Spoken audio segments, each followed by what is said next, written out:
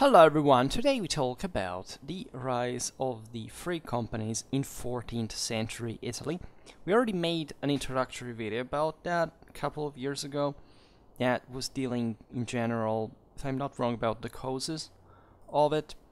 And today we'll look a bit more at yeah, the thing right, comprehensively from an economical, if you want, or mostly, of course, military point of view, but stressing a bit what were the at some point the interpretational keys that historiography gave to this phenomenon, how it occurred with our, you know, the, the perspectives now on the same topic, because it's not being studied, as you may mm, think instead that that much, right? As I made multiple videos at this point explaining how we haven't really gotten medieval warfare that uh, right comprehensively. It's as if historiography had developed for some reasons of you know with this different fields right in time and space about single single countries a certain you know or what maybe in the same historiographies of those countries have stressed about certain you know that that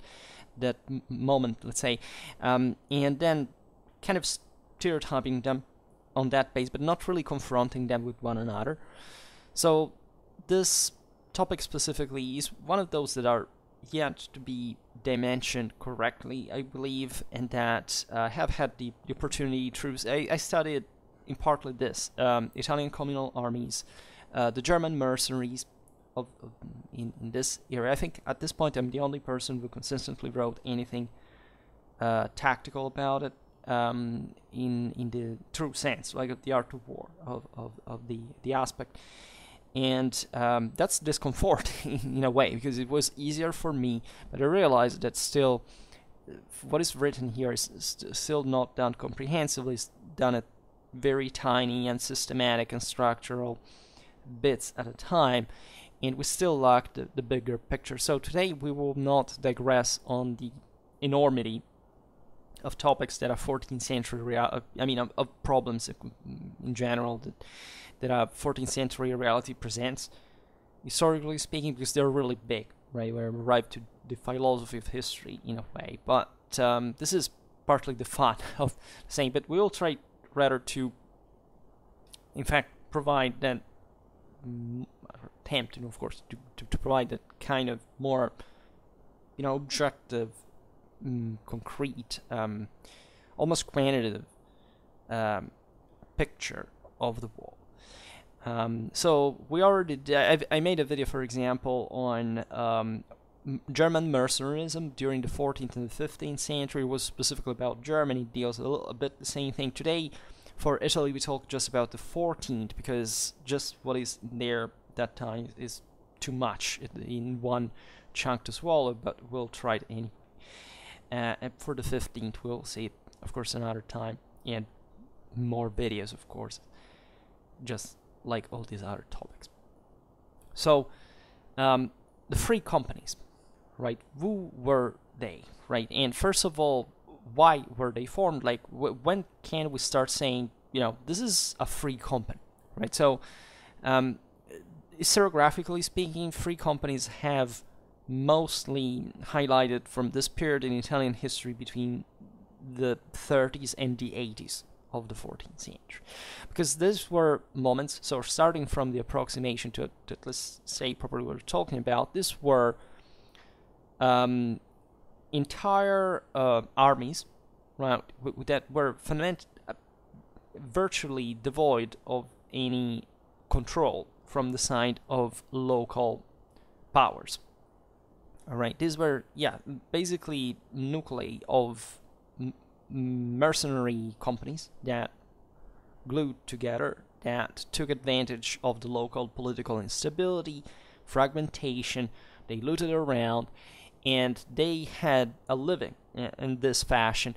And this is the, you know, the, the main idea we have of the, of the free companies altogether. And um, generally speaking, uh, in historical perspective, I would say Italian historiography, especially is the one that naturally should have uh, addressed the thing more, you know, more consistently in a properly interpretive sense. Um, naturally, stigmatized this period as a form of crisis, right? Which is, and if you look at the date here, as we've seen, this is where in the mid 14th century. So this was indeed a moment of crisis, in many ways Europe-wide. Mercenary companies, as you know, were roaming around, not just in Italy. Actually, the most famous one, the White Company, came notoriously from from the battlefields of the Hundred Years' War, mostly made of Englishmen under John Hawkwood. We'll see it in a while. Um, so there are. Think about the Great Chevauchée. Think about the um, the general crisis and the shrinking, the withdrawal of the two universal powers, and more in general of all the great powers in Europe. Like the, there is a phase of, as we've seen, of properly of splitting and of mm, the, the, with the decline of universalism, the rise of this essentially uh, national, uh, let's say, the consolidation of the so-called national monarchies, in a way, and which was a bloody process, right? It wasn't easy. It wasn't um, to be given for granted, right? But it was an important achievement, after all, that even this date here, the end of it, the 80s of the 14th century, that basically doesn't stop the age of the uh, of mercenarism because you know that the condotta lived on, right? And the condotta hadn't even been born there. Condotta is to be found since I think any country since the mid 13th century, even before. So why there is some kind of um, uh, sometimes in terms of, of confusion, right? Because from the 80s onwards, the Italian powers fundamentally resorted after this phase. It was fundamentally dominated by foreign mercenaries, and that's also why local historiography wasn't, you know, very much post-unitary Italian, you know, um, ideology much in, you know, in favor of the thing of the foreigners, especially having fought against, you know, the you know, uh, occupation of other countries, of other powers. So th- this was seen in general as as bad, right? And part of the reason why ah, it is all bad, it's not really important, or it was just bad in the first place. So, but not even starting what this thing was actually about in terms of the the control of the same Italian powers and interference they had, and the, the fact they threw these companies at one another re- really were. Um, but from the 80s onwards, they just hire Italians again, which is yet another dynamic that has not been studied properly well. That is to say, after these moment of great fortune, and of, even of military efficiency of properly the, the foreign mercenaries, mostly Germans, but also as we'll see other nationalities, French, uh, English, you know, brethren, uh, etc. Lots of them, right? But here, in fact, even the, the national character is relatively blurred. But indeed, after this, um, the condotte were almost practically all Italian and this also has not been studied yet, but there is a logic behind it, that even intuitively you, you can understand in this phase. So, um, it is correct what historiography has already highlighted, that is to say, these uh, free companies uh, affirmed themselves mostly starting from the 20s and the 30s of the 14th century, but however, rather timidly, right, especially at the very beginning. Why do we conceive them as free companies in this regard? I mean, I believe the English um, historiographical term is, is, is, is useful, right? It's purposeful because it stresses the, the freedom of them, right? The, at least, you know, not, not quite, shouldn't be seen in a quite absolute way, but the fact that, yes, these are de facto armies that escape the control of local governments, or mm, as it more often happened, properly, you know, that would remain without an employer because those governments were not willing to pay them anymore after they had, you know, fulfilled their contract, their, you know, their purpose, right? At this point, considered that there was not such, let's say, that that advanced, um, structured, formalized control and rule of engagement, and especially on, on a larger scale, probably of entire armies, like it would happen in 15th century Italy when you have properly entire armies that were contracted by a single condottiero that could become even kind of a vassal of that power and so on. At, at this point, especially at the beginning, these companies are literally just the, the many, many, many, many companies of, could be 20, 30, 50, 100, 200, 500 people, right, uh, that were hired and that roamed around. It simply came, right? Sometimes the same Italians went to Germany, to France, saying, you know, we want you to come there. Sometimes they were nobility especially well more or less everywhere because the the, uh, the the leaders of these companies were mostly aristocrats, right? They were the ones who knew how to make war, and they they made a business out of it. Um, there are interesting dynamics relatively to this. The you know, in France, the the, the lower nobility was uh, was hungry of, you know, of employment. They would they would accept that.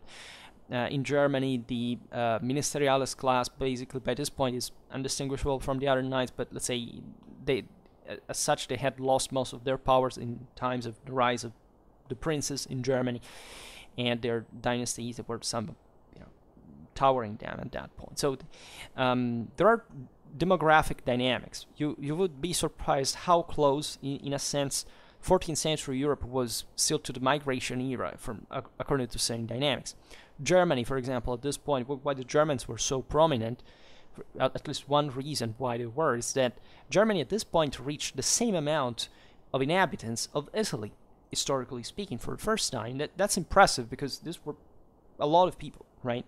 Uh, and they uh, they they also leave their crisis uh, as as we were saying mid 14th century. So uh, this they they went for where there was more employment, right? Italy was richer, it was uh, politically uh, divided, and therefore warfare was all over the place all the time. So they they, they would naturally, this German mercenaries would naturally flow into Italy, even in, through dynamics that are not really uh, clear, right? Because aside from the news of this various um, contractors that were sometimes literally called by the same sent you know ambassadors from from saying Italian city states into uh, Germany etc.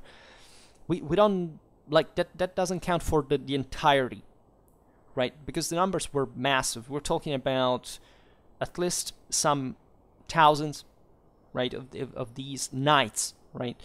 So heavy cavalry uh, in in Italy at all times. Today uh, at this, when you look at the expeditions of Ludwig the Bavarian, of Charles of Bohemia in Italy, they, you understand that these these powers fundamentally w- w- they would enter Italy with a very few uh, a very few troops because they were they didn't they wouldn't have power. Mostly their their enterprise there was paid by the same Italian powers. We were fighting against one another in the struggle between Guelphs and Ghibellines, etc.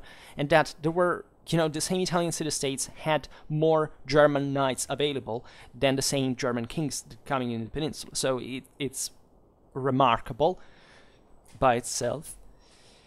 Um, here we should make a premise that uh, starting from the 20s or the 30s or the 14th century, maybe you know we can't skip in a sense, but th- there have been phases in this, right? The, the actual beginning of like German mercenaries, as you know, in Italy had always been around in a way or another. Um, think about since the, the, Battle of Civitate, or you know the, the various Romfahrt, the, the, the Swabians in, in, in, the peninsula, the mercenaries of Frederick II, of Manfred, etc. But what happens now, as we were saying before, that while before those mercenaries were more or less fundamentally under the control of certain monarchs that came into the peninsula, at this point these people are free right? By the 14th century, the market is much more developed, like Europe is much more developed in general, and therefore uh, mobility is and, and mass mobility is, is much greater in many ways. Uh, this is all intertwined, as we have explained countless time here. Italy was basically paying for most of properly, properly the financial burden of the wars um, by subcontracting financially, you know, the, the hiring these mercenaries in places like France, England, you know, they, they used all Lombard, Tuscan bankers for, for that. and they sometimes contracted also Italian mercenaries, famously enough, the, the French uh, with the um, Genoese uh, admirals and uh, crossbowmen, right? But there, there is more than that, actually, and uh, it's not a dramatic movement from south to north, but the other way around, which tells you also from which direction gold rate, you know, uh, flowed. So it, it, it is, um, it's not a surprise that all these mercenaries wanted to go to Italy because they paid them handsomely. And in, in this sense, it's it's beautiful to look at this area because it, it shows, in a way, the cradle properly of a of a military selection that in other countries on a professional basis that, that in other countries doesn't quite exist as such, right? And this is the the, the the the the exceptional nature of this reality because other countries would have naturally a lot of mercenaries in their employment. And however, the first mass injection of thousands of Transalpine rather than strictly German at that point, it would be partly also Burgundian, Flemish, French, etc. In fact, there are a lot of synecdoches also in the sources for which you don't quite clearly understand, especially you know the Burgundians are often uh, mistaken for Germans or French because so you know. Um, but the the que- the question here is you know that that after the, the, the expedition of Henry VII uh, in the first tenth of the 14th century that is the you know the last massive military enterprise properly um, of, of after the you know the interregnum and of uh, the German emperors, the German kings properly, because they, not coming to Italy, that they had not even properly received the imperial title. The first time with Henry VII arrived there, and they when he dies of malaria, when he had collected this huge army, right? Some of these mercenaries were actually Italian, uh, but lots of them were German, etc. They this bulk of you know, troops was coming back north of the Alps was hired by other Italian powers, chiefly Ghibellines, like the ones that had supported the emperor at that point, namely Pisa. There is a beautiful military history about this that is dramatically overlooked. Uh, a very few people study, but for example, the battles of Montecatini or Alto Altopascio or Zappolino technically were It was some of the most important battles of the early 14th century Europe, but for some reason uh, that is historiographical in nature right? It's both, um, uh, say, an Italian and foreign fault because, again, these things must be studied just by the size and the uh, tactical development of these things. These are the single most important things that happened in Europe at the time, military-wise, and s- still they're not studied. They're not studied, and uh, we don't even you know, we can't even put up an excuse for, for, for this, right? And you look at the, the main compendium that, that there are in disclosure in books about medieval warfare, this chapter basically do not quite exist. They skip essentially from the golden age of communal armies, say the time of Legnano against Barbarossa and so on, to the age of the condottieri, right? And th- this whole thing in between actually was the moment of greatest military development, probably not just in Italy, but likely probably in, in the in entire um, medieval European uh, warfare.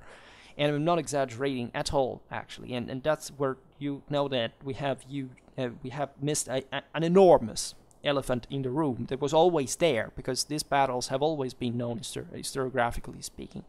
It's just that this makes it even worse, and it tells you how Europeans and Westerners do not study their own history seriously right? And sometimes it, it, it's so embarrassing. You say there is, but there must be some reason. No, there is no reason except properly the niche hyper specialization or uh, lack of compet- linguistical competence, whatever. Uh, it's there. It's a massive event. It's massively documented. There, there is no there's no excuse for keeping it, you know, without.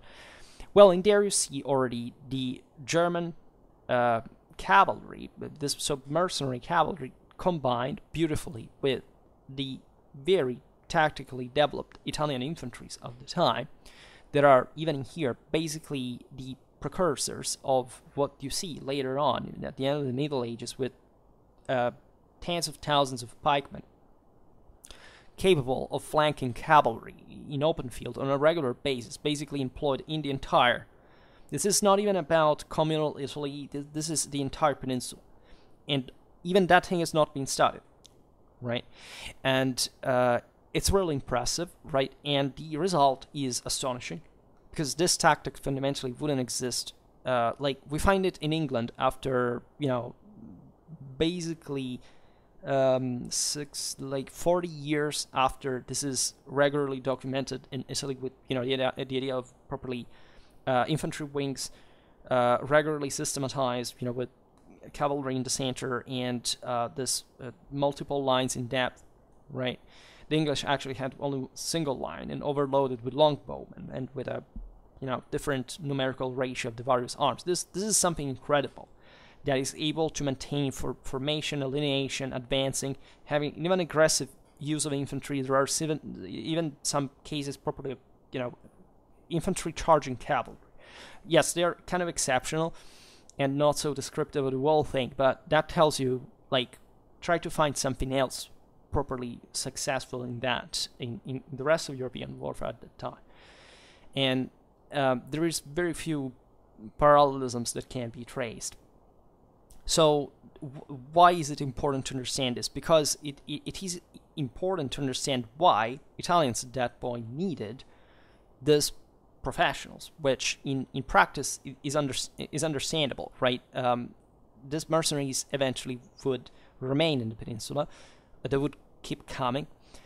With the mid 14th century, this great um, um, Italian communal capacity of deploying tens of thousands of men on the field, even for single cities, uh, armies. So that gives you also quantitatively a dimension of how you know large, um, properly from a structural point of view, Italian warfare was at the time. So an army that was normally fielded as such by the king of, of France could be fielded by a city like Milan or Florence on a regular basis, and even more often right? And these were single city states with no, practically no no greater uh, landmass in terms of district and territorially speaking. So that's that, that speaks for itself. Um, and but the, the crisis of the mid 14th century, the rise of seigneuries, so all an important set of intertwined factors that, however, are deeply connected to war specifically. This tens of thousands of, of especially infantry shrinks right? Uh, these were originally citizens plus peasants, and there is all an historiography explaining the decline, the gradual thing. Even this has not been studied entirely satis- satisfactorily. Um, but uh, I must say, I personally actually did, uh, and I think that is also why I'm going to to to, to publish this stuff uh, quite quite soon. Probably, you know, it's more than 700 pages, but it, it explains, and there is one chunk dedicated specifically to German mercenaries. As you know, my master thesis actually was on a German battle at the same time. So I I had always this um, this bias, this this interest for I practically Holy Roman Imperial history and or well, I began with migration Europe, but basically that's my thing. Italy and Germany most of the times, my field of expertise. And without digressing too much, the outcome of this analysis is fundamentally that, especially the German mercenaries, so in, in the West they appear in the peninsula regularly, that is, the one of heavy cavalrymen, because there's virtually no indication, no explicit info about the fact that these could be German infantry of some sort, right? And this is also meaningful because these are the same years in which the, the Swiss fight against the Habsburgs um, there is even in there actually uh, an Italian involvement through Savoy, especially that fought also the major bat in the major battles against the, the, between the Flemish and the Germans. There were lots of before I was saying Lud- Ludwig of Bavaria, Henry VII before, but also Charles, I mean John and Charles of Bohemia. In the process, so there is the there was the Duke of Athens. There there, there was. Uh, uh, there was a, a, a, very intense international interaction. So everybody knew actually how uh, Italian warfare was concretely, and when they came there, they fought, they adapted to it without too, ma- too much of a problem. It's just that you understand that, that making war at this point was. Uh, you know, there was no mystery about how other peoples fought in Europe. But if you look at the, for example, the rise of it, of, of um, early 14th century infantries, the Italians wouldn't score any infantry victory as such, but the obvious reason being because they wouldn't need to fight with armies that were composed only by infantrymen, right? Like the, the Flemish, for example, um, or the Swiss. So um, that actually doesn't indicate the quality of the infantry. And the, the, since in Italy fundamentally cavalry was always there for a reason or another, because the oligarchs had it, and they used that. And it would have been foolish not to employ it. And there was always a political interest to fight alongside with the infantry, etc. And there were naturally these foreign mercenaries, and you realize that even actually um, some nationalities that had contributed to the early 14th century infantry, such as the the um, Demogalvares, such as think about the Battle of Cephissus um, in Greece, from which the same father of the Duke of Athens had been killed in so they knew what it was about. Well, these ones would be ousted exactly in the 20s and the 30s. That is to say, one of the uh, you know allegedly more successful infantries in, in medieval Europe, the great mercenaries, the Almogavares, the the, the, the Catalan company, etc. Basically, in this time, there are certain powers, especially Florence after uh, after Montecatini states to the King of Aragon, we don't want to have your troops anymore around. We don't want to even see them around, and and they and they keep hiring uh, German and French mercenaries as heavy cavalry, right? And this is all the more interesting. I promise I will make a video on this. Actually, made a video on the Catalan company that deals a bit with this as well. Also because the Almogavares in Italy had been consistent. They were used as garrison troops by the Angevins all over Guelph, Italy. And um, at a certain point, they simply disappear.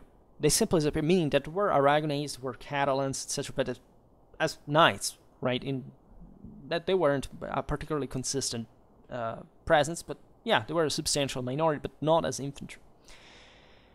And so this is very fascinating for reasons that we can't even clearly understand, because systemically speaking, uh, we lack even a bit the um, properly the, the rationalization of this. Like there is hardly any source that states clearly what they thought of all these changes at the time. But you can see these changes were so big, so so evidently doctrinal, also meaning that of course they were part of broader political and social transformations, but they they were also, um, uh, you know.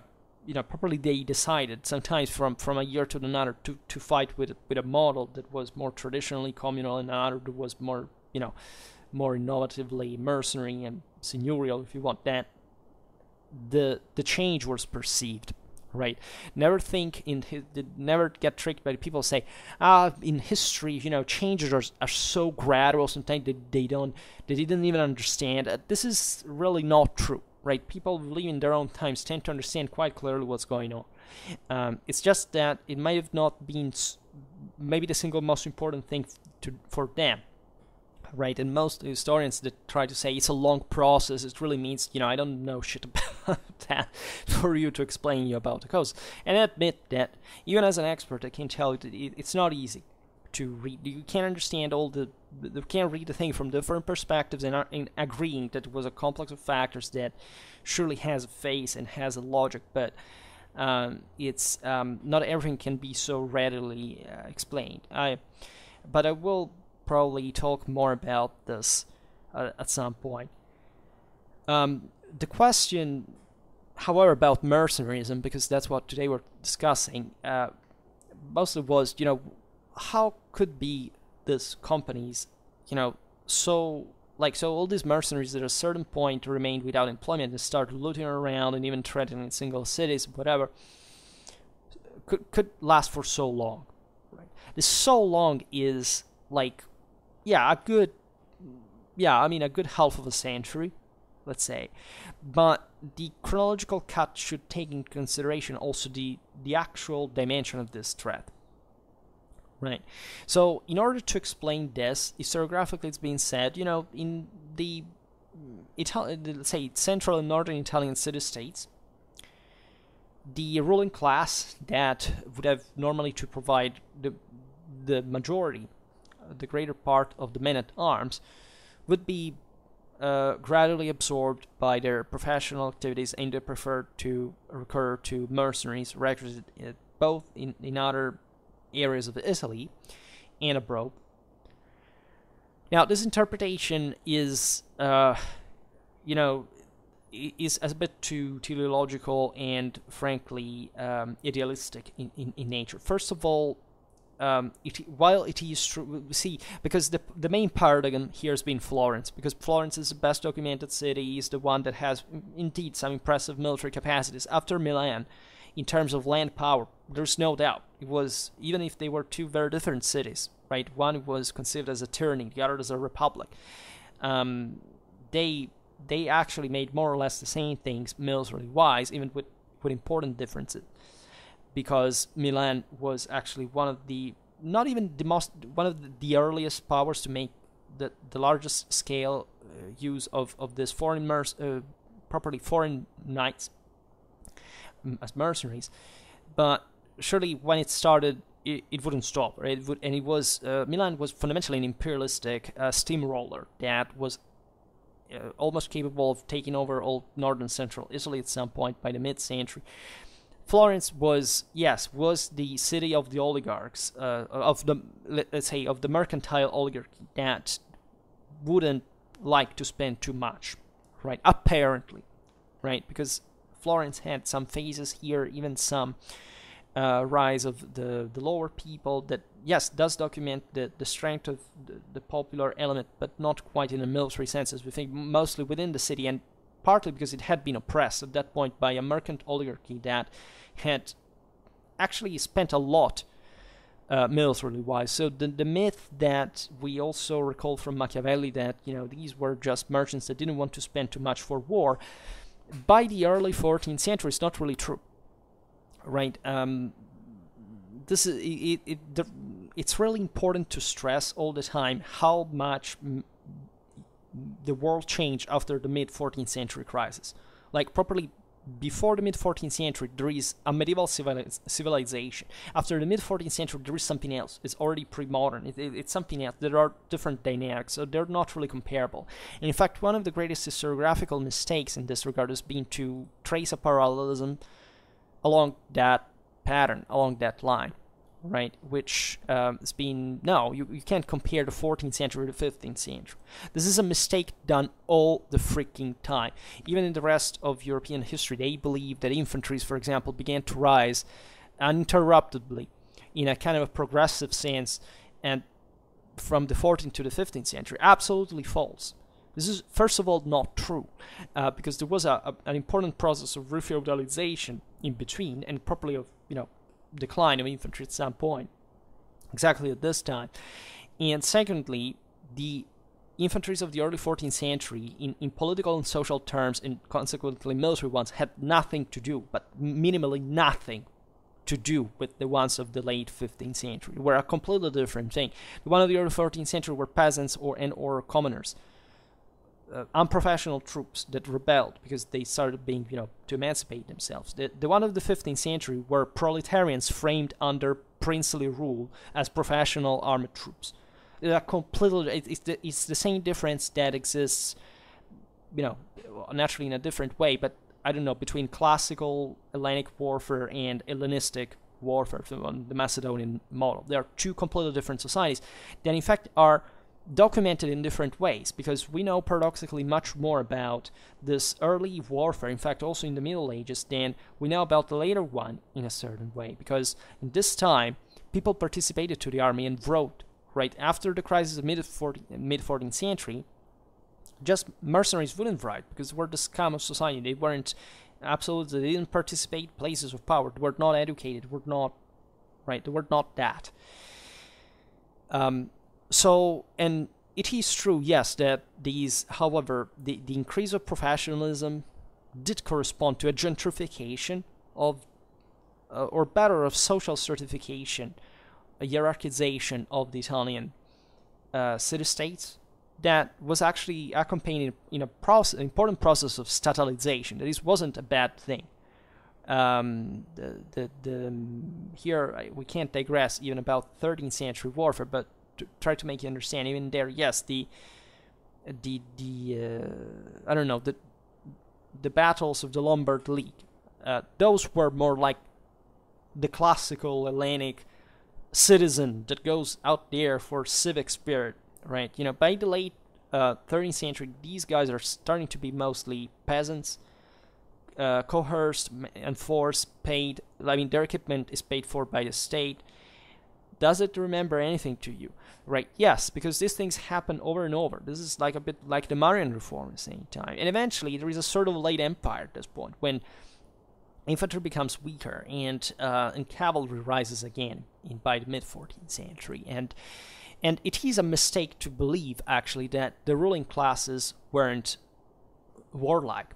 Uh, there is hardly any. I can't think of one of these Italian city states and say, you know, the ruling classes were just a bunch of fat merchants who wouldn't know how to use a weapon. This is basic, virtually like Florence may be the extreme of it, and it wasn't true even there. Um, these families, on the contrary, were, were very much military minded in the sense that they uh, they tried to imitate as much as they could uh, the old uh, milizia, the old professional uh, military aristocracy. That, in, in, the case of Florence, yes, maybe they were properly becoming more, you know, as more elite as they were also dramatically wealthy. Properly, yes, they wouldn't want to risk. They wouldn't necessarily risk their own life in person, right? Um, they would prefer to hire somebody else. But if you look at you know, for example, northern Italy, that's that's different. Also, other areas of central Italy, as we were saying before, there were there were areas that provided some of the finest men at arms there, historically, such as the the Romagnol area. Uh, the, all, along, all along the Apennine, that there was this warlike aristocracy that historically had, uh, you know, remained a bit that tough stock of uh, feudal um, elite kind of lifestyle, etc., and the, the local communities were more warlike because, as always, in the valleys there is not much to live for. If you know there's a, a demographic surplus, people, young men, go out there for war, right? Not much different even from the Swiss or others um, in that regard. Um, what is rather more fascinating is is how early 14th century Italian armies had developed dramatically and kind of crumpled in, in, a relatively few decades there are exactly these ones the ones from the, the, the 10s to the 30s of, of, of the 14th century because of th- that was possibly the single most intense uh, military activity in, in medieval Europe per per per, per inhabitants or at least for yeah I mean for probably the, the sheer amount of resources consumed this is mirrored also at sea famously enough there is nothing like in medieval history, like the amount of capital spent in the wars between Genoa and Venice at sea these years. That also detracted a lot of a lot of, uh, of resources for the development of land armies, given that they were you know invested in, in naval warfare at the same time. And my my idea specifically is that Italy exhausted itself. Like in many areas of Europe where that surely were fighting also pretty hard, literally this this is still a medieval pre-industrial society. You cannot have 20 years of prolonged warfare when you employ on a regular basis um, tens of thousands of men, uh, almost permanently, uh, all over the, the, peninsula in arms to, to, to fight against each other, not to have a, a radical impact from a structural point of view on the political and social structures.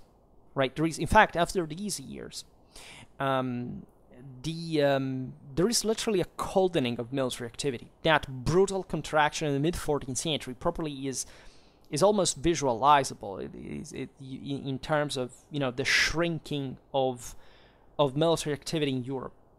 Right, properly, you, you understand that the resources began to lack. Armies began smaller, you, you to be smaller. You see that individual there was probably a, a, a different paradigm in, even in the uh, economical like the most owners revert to land, uh, at least more compared to what they used to do before.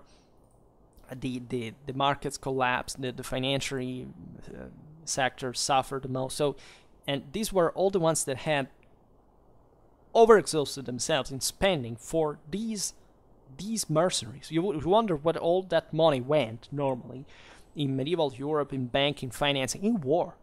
What do you think they this this relatives did all the time. Like war wasn't like one thing among the others. It was basically the only thing this this politics did.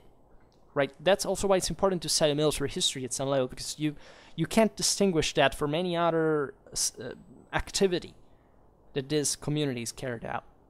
It was an insane, insane amount of sp- expenditure.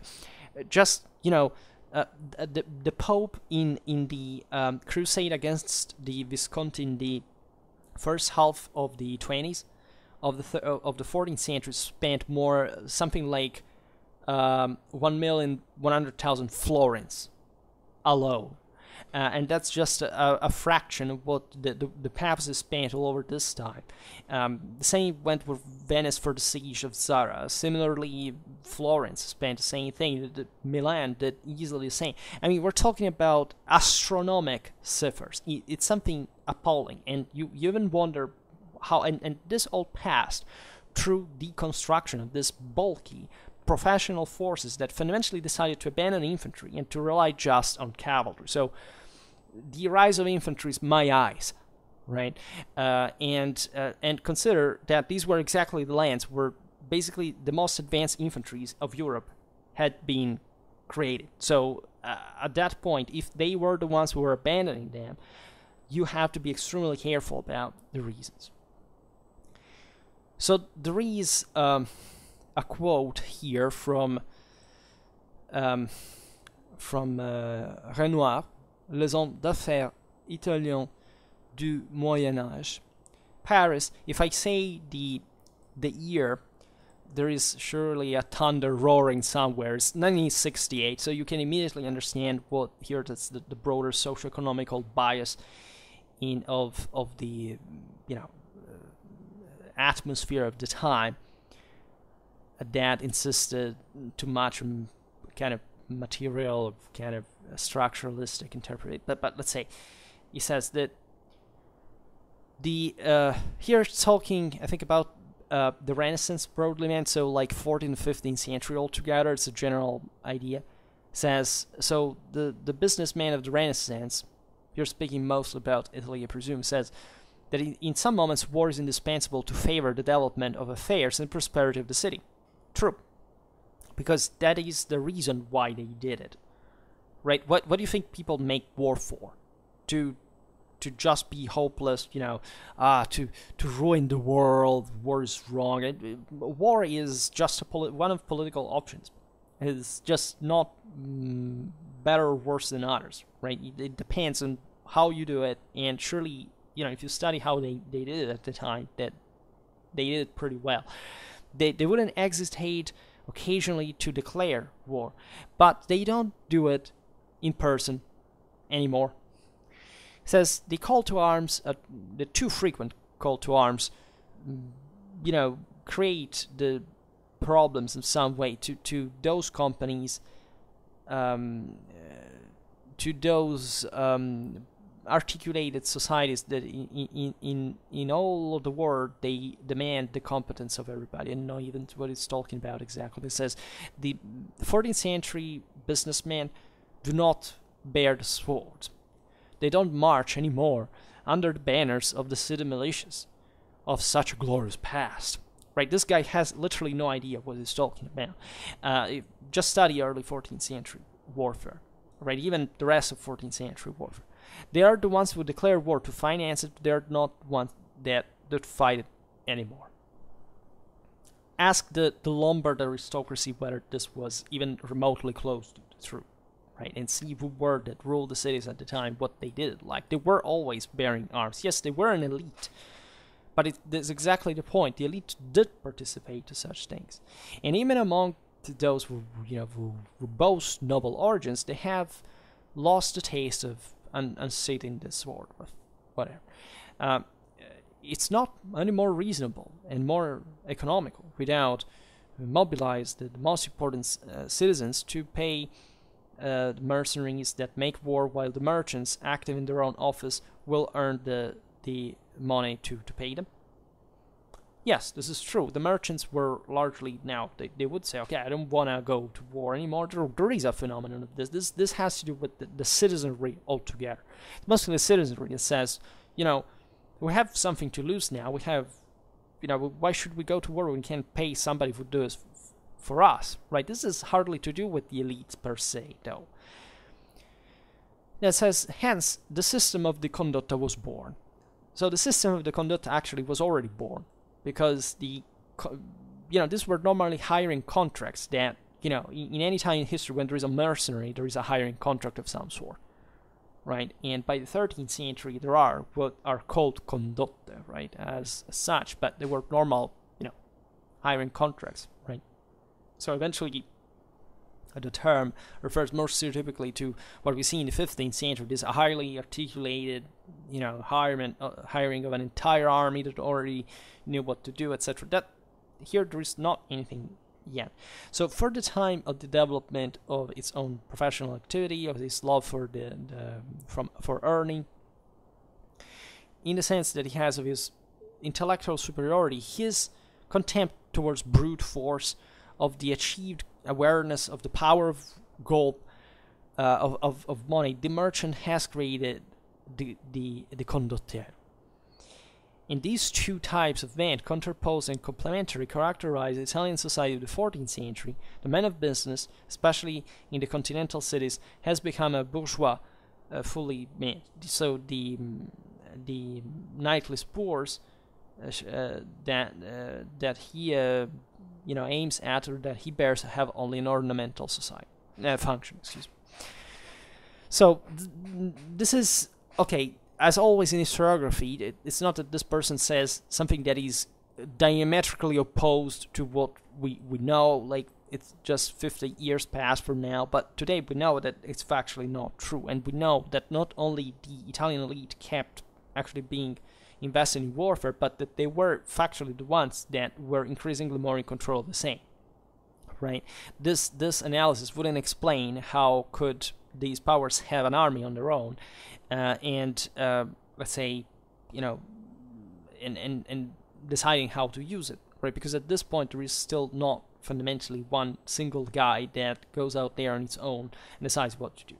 In in the in the 14th during the 14th century, the free companies are employed like that, in in the sense that they they they existed and the various Italian city states said, okay, you know, you all have the power here. The, if you you know instead of attacking us, we'll pay you for going against uh, against that other city, right? And we have a deal, right? This doesn't mean that those Italian city-states wouldn't have an army. Um, as we were saying before, uh, and we will see it now, the um, the consistency of these free companies wasn't actually such to to threaten the the establishment in the peninsula, and and this is often overlooked, right? The the country wasn't ravaged by these armies more than it had been ravaged by the same Italian armies in, in the generations before. Um, they were simply another way of making war, right? And in part, there is surely an increased distance from the exercise of arms of the bourgeois. But speaking of the elites, these were kind of aristocratically militarized in nature, and they, there is actually an increase, properly in this sense of properly chivalric knightly character of the same, even uh, often in a feudal sense, because in all this, um, not only the Italic kingdom was part of the Holy Roman Empire, but there was an, a very important coordination and connection with with um, with foreign sovereigns for the balance in the peninsula. It was becoming ever more intertwined with the rest of the wall of Europe as had already been. In fact, I made a video last winter that is, uh, I think, foreign intervention in Italy in the 14th century. It makes you understand a lot about that too. That is to say, who did come to Italy and why and how, and especially what was it rely- relying militarily speaking. And you understand most of the times, actually, foreign rulers coming there were relying on Italian armies to do what they wanted to do because they didn't have one, simply one on their own. And in the case, especially at this I think the one of John of Bohemia is the most eloquent. Right? It, that he had no army. He just used the ones that he was provided with because there, there were always some who wanted to fight against one another, and these rulers had some kind of international status, recognition, etc. And so they they they acted as such, with sometimes with reenacting this farce of the empire. That point that was ridiculously uh, way, uh, ridden also by this local powers to say we are the, the Ghibelline vicars because that guy gave us the title. Yes, John of Bohemia. That never accomplished a great deal in terms of, uh, aside from roaming around in Europe, fighting here and there, and eventually being killed at Crecy. Great knight, great uh, figure, a romantic one, almost a fairy tale one. But in fact, that was a fairy tale, right? What really made war at that point were the troops that were controlled by the, the, the various lords in the peninsula. And these were never short of them, even in the times of the, the free companies, that surely did impact the local politics and surely ravaged around and surely made a mess, as, as you can imagine. But because they were pushed by these various powers, they were supported, were financed right? If they, they hadn't been financed, it would have come there. This was not really an area that where you could arrive, and there was nobody. You see, uh, like France, where it was crippled by by the, the, the English invasion. So I don't know, from Paris, the king said, you know, I'm sorry, southern France, we can't mobilize, and you know, the English would go lay waste everything they found, unopposed virtually. Um, the the the Italian peninsula was a, a thorny uh, area. It was a a military, a, a, deeply militarized and dangerous fundamentally, and you know, uh, but in this sense also rich and exploitable place, uh, where most of these companies rose because they had been hired by the same Italians. And this is the point that that has been, in a sense, misunderstood. And so even when they went lost, they, they, they, probably they lost touch on it and lost control on them. They they wouldn't be able to, I don't know, create a power there.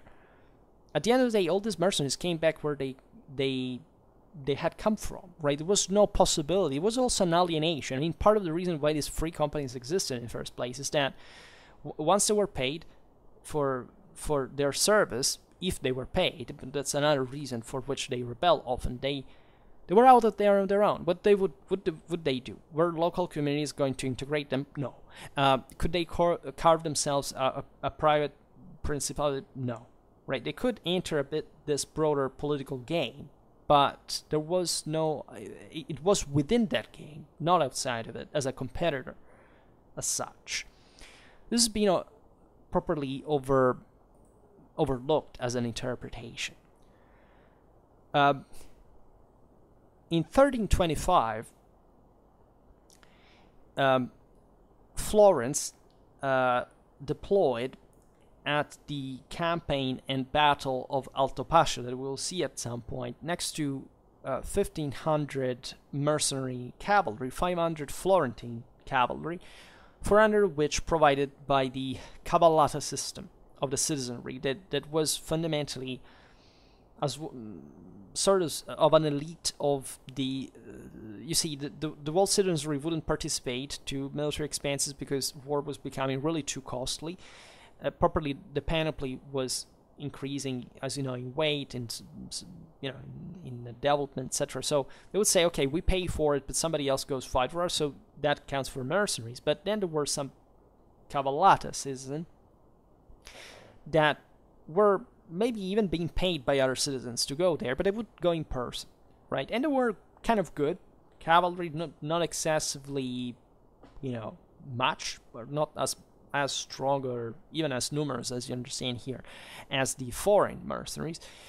In any case, Florence get defeated at the Battle of Altopascio, but by uh, essentially a Lucchese and Milanese coalition, where the um, the Germans of uh, of the Visconti that had arrived in help of Castruccio Castracani, ha- uh, Lord of, of Lucca, uh, essentially crashed. Or uh, but it's not even to be given for granted at that point because at least Florentine sources says during the say during the battle they had managed to break through them, whatever.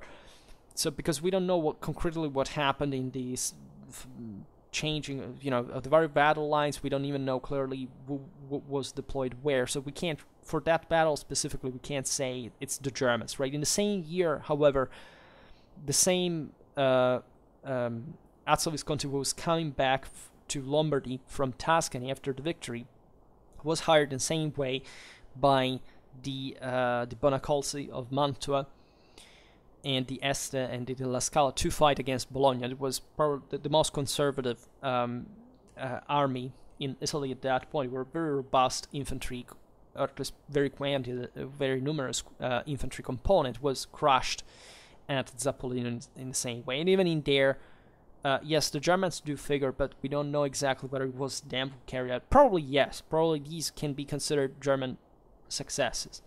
Um, it's just that um, in the same way as we've seen Florence had had. Uh, Bologna not so much, but at that point the, the defeat of Zappolino wasn't much due to that, but rather to the to the military expertise of the of the commanders of the the Ghibelline army that were you know lords properly meant, and the Po Valley lords were at that point developing some very effective coalition armies, such as a, that example, and surely the Germans helped in that sense as a shock troop.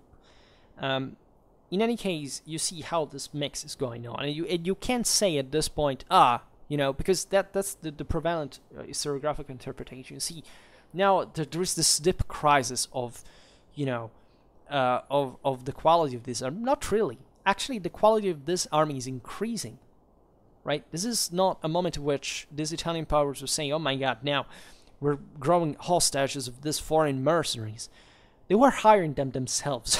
like they called them from north of the Alps expressly, and they were building actually way more effective armies because Florence, exactly after the defeats of Montecatini and Alto Altopascio, began to to say, okay, look, we have to, to transition. We have to make armies that look more similarly to the ones of the great uh, Ghibelline seigneuries of the north that were, you know, the ones generally more provided with mer- foreign mercenaries uh, with the German ones, especially because of their special connection with uh, with the Germ, you know, with with the imperial say power. So they they probably were closer also to probably to the to the ways of access the German mercenaries, etc. But gradually, by the 20s, the 30s, also Guelph powers basically begin to hire this this troops as well.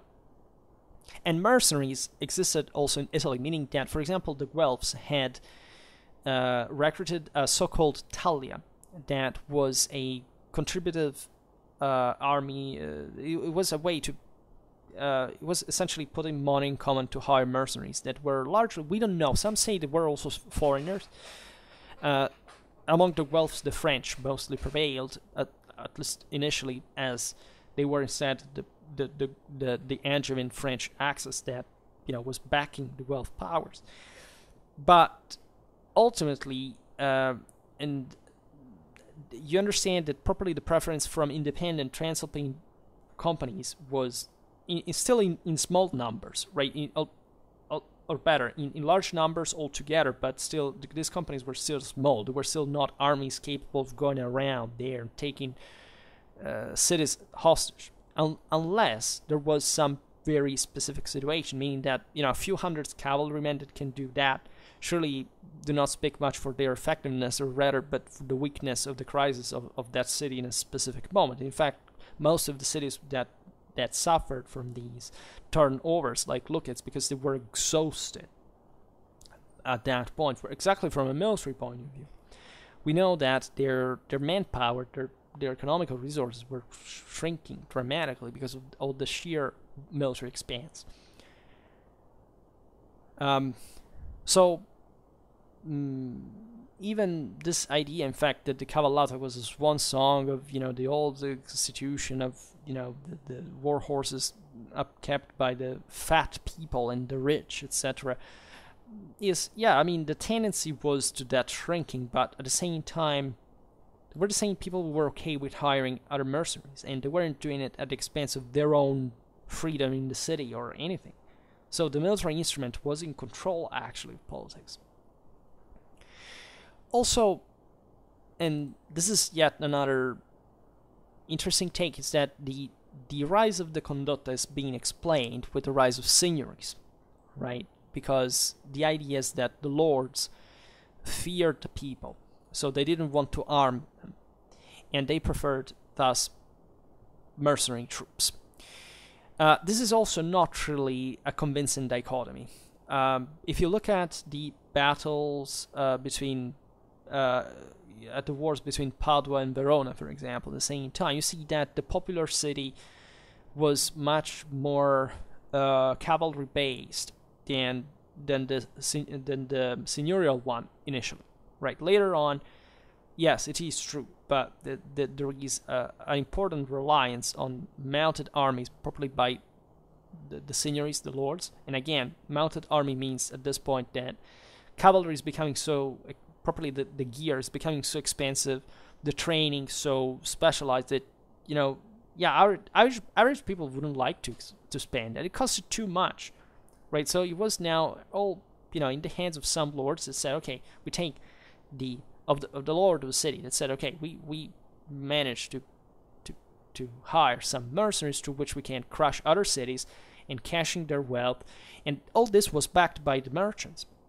So it is true that because they, they, they would take over the, the neighboring cities' uh, banks and assets. The, the Milanese did that, and that's why also they were the most successful in this broader military development.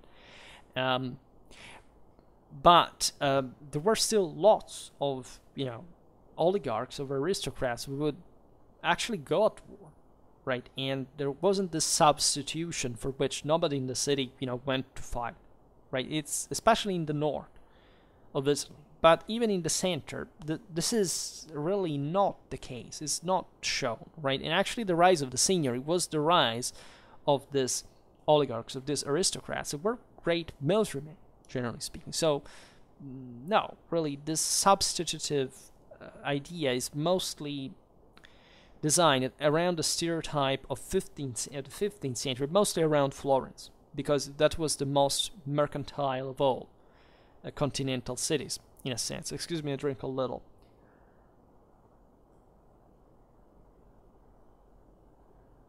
So, um, the uh, the idea is also that the lords couldn't rule over cities that didn't like them, right? Some faction had to have supported them, and this faction always wanted to properly participate to military matters in person because it was a way to organize uh, the army to to have this political influence on it to to manage strategy that could make them rich more or less. Think about the loot, think about the ransoming.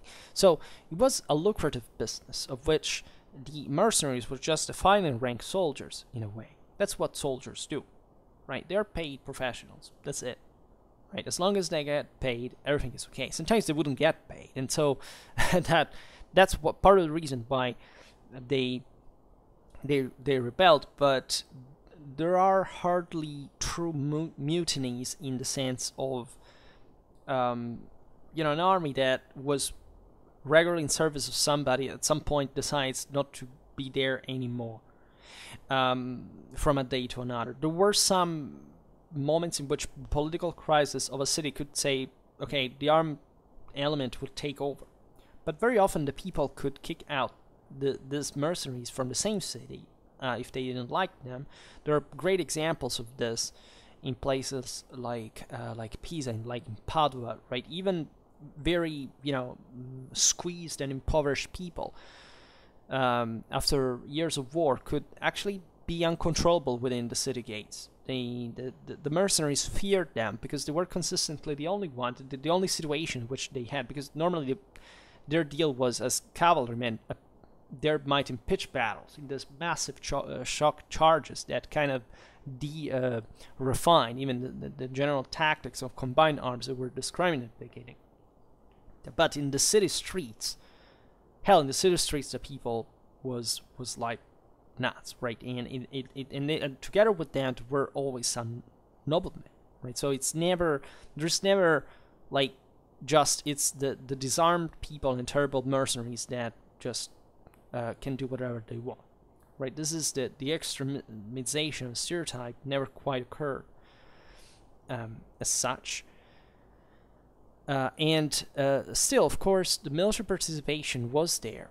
Like um, the uh, if you look at the army compositions, they they were hardly old mercenaries. Like infantry, for example, was still there. And uh, even if it, it lost in importance, still we know that, you know, the the statutes said, you know, they had to be kept efficient. In fact, there is an increase of specialized personnel, mostly crossbowmen, etc. These were not mercenaries. I mean, they were soldiers in the same way, if you want, but they were locals, right? They they, they have this presence is maintained, right? And surely during the the the 40s and the 80s of the 14th century, there were there was an increase also probably of the together with the free companies as, as large armies on their own. Um, some introduction of other, like more like infantry, etc. There is no doubt of this. But there is also a contingental nature of these armies as well. That is not like having, like literally an army on, on, you know, belonging to a local community that has all the resources and is, you know, entrenched in, you know, well defended city gates, has the, the stocks and all, um, in a uh, military administration. It, it's something more more daring in, in nature, if you want. And uh, the point is really that cities didn't have difficulties to find the money necessary to hire these mercenaries. and they would be very careful about that, right? As we were saying before, when they when the war was over, they wouldn't even bother themselves paying them anymore. They would just let them out there to go to do whatever they wanted. And normally, these mercenaries didn't have the capacity to take cities over. Right? They the the same cities fear them legitimately because they wouldn't want to risk to to fight against them in a bloody battle in you know in, in open field for what? Right? They would ravage the countryside, but they would they would go away. And that's what they normally did. Most of them melted away, came back the the way they came, like the the, the countries of origin. Again, without really taking root. This is yet another important aspect of this phenomenon. Because normally in history you know you eventually that this if these mm, people are victorious they want to settle they want to you know create power on their own they would. Look at what had happened i don't know after the collapse of the byzantine empire right? Westerners settling as private lords here and there. Um, in Italy, literally, this wouldn't happen. There was no space. The, the local polities had no there was no way. There was no factually no because the city was the center of everything, and the city would simply shut its gates, and there was no way to integrate this, these people. They didn't speak their language. They they were just about war, and they wouldn't distinguish even from the civilian life. They they were just there to loot and to receive money, and they wouldn't even care about anything else, right? So there was no other really poss- possibility of integration. True is that these guys were very good soldiers, as we were saying before. I mean, they surely were capable. They they knew their own stuff. But even about this, um, as we will see, they weren't really always victorious. They were often defeated as well. And again, if you if, if aside from single battles, you actually study the strategic context, you realize most of the time they had they stood no chance. They, they wouldn't even come to, to grips with with, uh, with Italians because simply they, it was inconvenient. They didn't want to die either, right? And there were some battles where they were consistently defeated, and so that you know that shows that really the system wasn't cracking, wasn't a moment of anarchy where everybody could do whatever they wanted there. There were, on the contrary, enormous political interests to back these armies uh, against the rival city state to to, pay them to properly fuel them to make them happening in the first place. So, as we were saying before, between the 40s and the 80s of the 14th century, it's let's say the moment of greatest activity of the uh, free mercenary companies, and they were dominated by foreigners. Right, this is really important. Um, in uh, the um, there, there would be some interesting consideration to make about why, for example, the Italians didn't join this more years. Sometimes they did, actually, right? So we should always understand who were these guys and what did they do, because also, um, not yeah, there were some political and social instances in this as well, because armies were always followed by um, non-com- non-combatant element of looters, beggars, uh, sal- salter trained, you know, the merchants of, you know, this was kind of normal because these armies looted on a regular basis, so there was something to live off of. So in, in 1330, in, yeah, four, the, the so-called Knights of the Dove, of the Dove, the, the Cavalieri della Colomba, they were Germans. They uh, they impoverished in central Italy But even here, yes, they were just a company that roamed around a little bit, but they weren't many. And, they dissolved, and they, they wouldn't. If you look at the broader political spectrum of things were happening at the time, it's not that people cared. Like this wasn't a, a major event compared to the at this in these years there were dramatic military activities in the north, in the center. It, like if you have 400, 500 knights doing certain things, yes, they can't be a problem because they they don't have somebody controlling them at least apparently because there's always somebody controlling the paying them or uh, negotiating with them telling them where to go etc but again it's not that this radically impacted the local events at the time. What was actually more important was in 1339 when other germans reunited in a first company of st george there is a, a an important uh, chivalric bias. You know, Saint George, protector of knights, etc. Uh, the Germans brought a lot of this kind of um, properly chivalric element. This is the maybe an important divide. The Germans here are, uh, especially in the first, in the early 14th century, they're able to score dramatic victories in regular, basically condition of, of, of numerical inferiority that are utterly disconcerting. That is, the Germans, you know, that historically had, you know, Germany developed cavalry later than a country like France, born, you know. Um, but at, in this point in history, by the 14th century, actually they ca- they came to parallel French cavalry by by might by power, and but they maintained a bias that was essentially an, an individualistic one. The French were mostly about at this point stereotyp- stereotypically, you know, the the haughty and arrogant nobility that arrive and think they are so and they are, I mean, they're good in this scenario if you look uh, analyze their military quality but they're not like top right what really breaks like air like are the germans.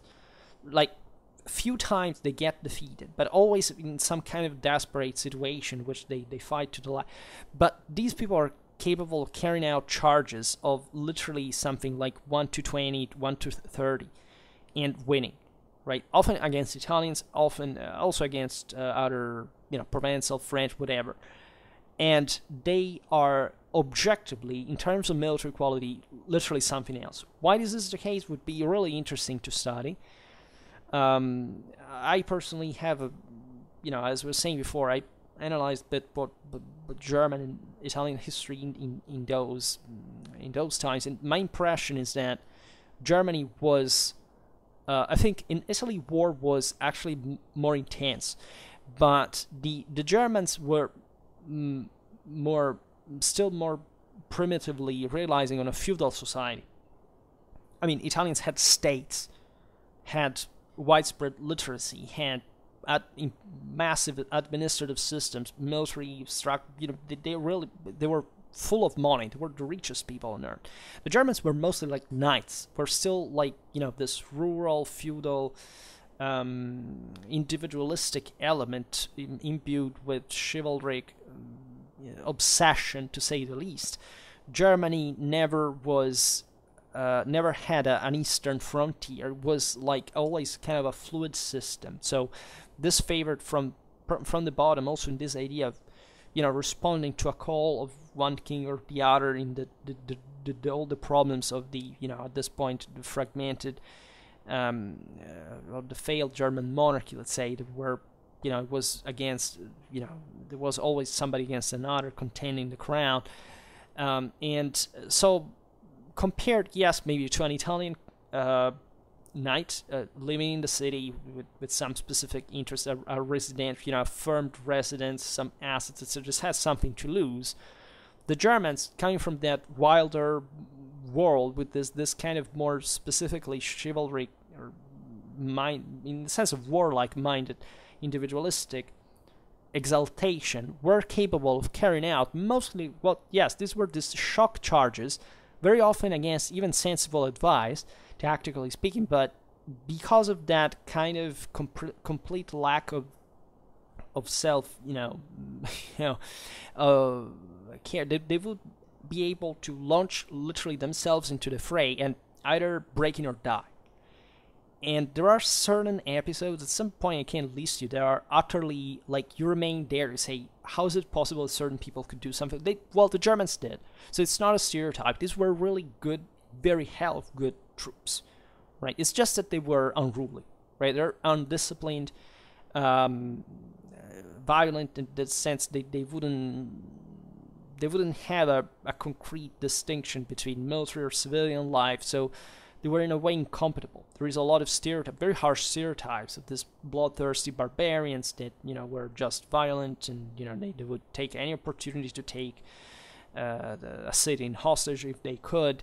Um, there are episodes like this, but most of the times they they were again they were paid by somebody and they were doing this still you know searching for a next master to be employed by, not not to carve an autonomous power because it was factually impossible.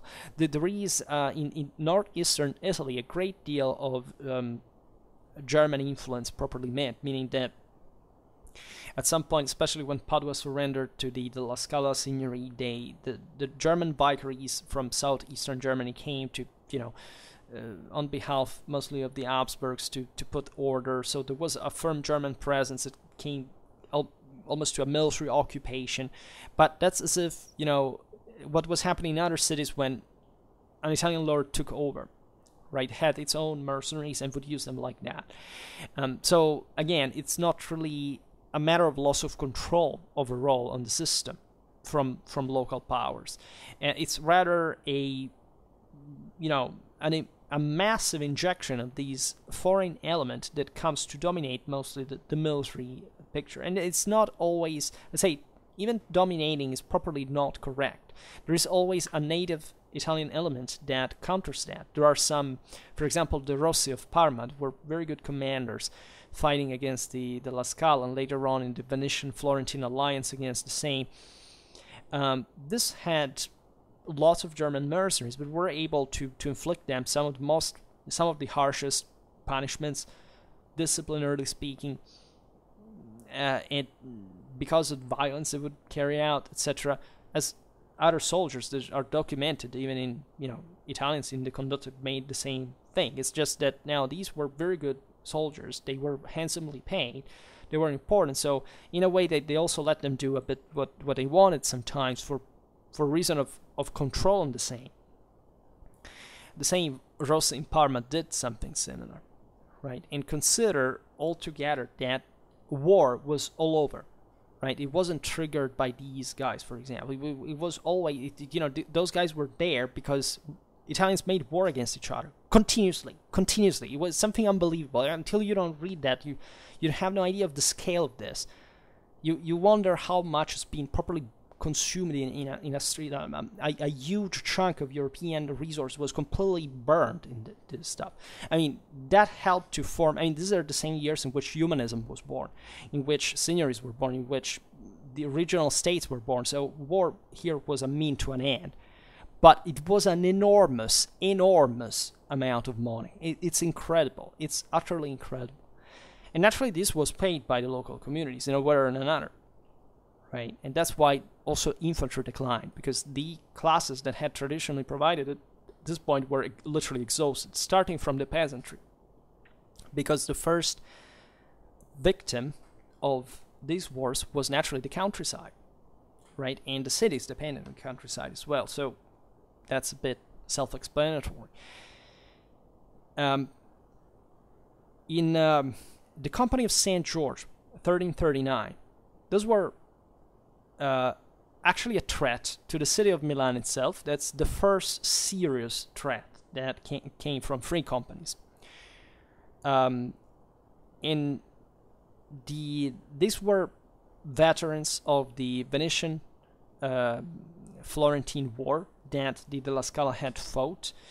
Uh, and um, basically, the, the the Visconti in Milan had kind of quarreled with each other. You know, when one had expelled his uncle, etc. And they, and this guy, that was Lodrisio Visconti, basically hired the veterans um, of the La Scala who didn't have money to pay them, but so they were promised to loot Milan in, in exchange. They, they marched on Milan. Naturally, the thing was mediated. So, but it brought to the Battle of Parabiago that was fought outside, you know, Milan, where you have there for the first time, actually, a, a purely mercenary army albeit still commanded by a Visconti in that sense, and the Milanese army, actually full of also um, allies from the rest of Italy in a sense, um, with mercenaries on their own, but permanently it was still the city forces, right? And so this was a major battle. It was one of the, the most cruel battles at the time fought in the snow. It was, you know, something appallingly violent. Um, fought in like in three days apparently in a row, and um, the the Milanese forces were about to be annihilated, but for the the, the usual flank attack, rare attack, you know, by surprise, they managed to win. It was a, an utter bath of blood. Uh, lots of people died from both sides. Uh, Milan was safe, so the, the the city system actually proved stronger than the mercenary system. but the Milanese hired part of the German survivors, and uh, and they went on with that, right? So think about it. Um, eventually, in 1342, there is the Great Company of another German, Werner von Urslingen. Famous, come from there were quite a lot of anecdotes about these figures because allegedly on his cuirass you could read "enemy of, of the faith," uh, actually enemy of God and uh, enemy of piety, right? So this tells you a bit what was the the average mindset.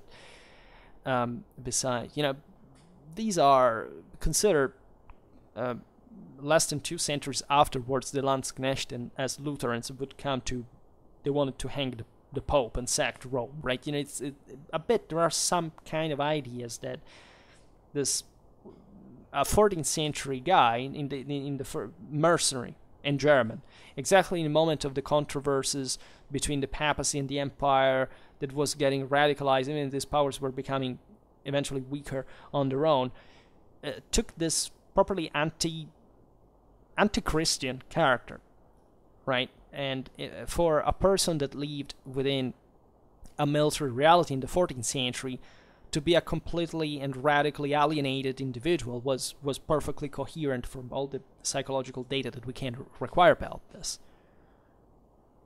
Uh, you know, John Hawkwood is said to have cut uh, a nun in half because two of his men wanted to to rape her both and wanted to contend her, so he solved Solomonically the thing. I mean, these these are the kind of people that we're talking about, and so as I often say, uh, it's practically impossible for us, even in the most atrocious violences that we see every day, to properly understand what, what it meant to, to leave something like that properly in a 14th century reality. There are s- simply certain places with your mind where you don't want to go well, these are surely in the mindset of a free company commander during the 14th century. Uh, but even uh, the company of Werner von Urslingen did, wouldn't mm, alter significantly like the local. They, they raided around, they went fighting a bit for some power, but for another. But they were among the many armies that existed around. Again, so it's not a huge deal. Then eventually was the Great Company, right? Uh, I don't remember actually here whether the one of Urslingen was. There was one that basically raided um, from started from, from central Italy, arrived in the Po Valley, and then was escorted out. And you, you you understand there that this was a problem because it was dangerous, right? It, it looted some areas, etc. But the city, it basically was never able to take any city. That is the only factual center of power exists in, in Italy. There's no broader rural scenery or whatever. No, it's the city and always the city. And you realize there are there are two factions, two alliances within Italy. One wants to send the company against one against the other, and eventually they manage to expel it. They come back north of the Alps.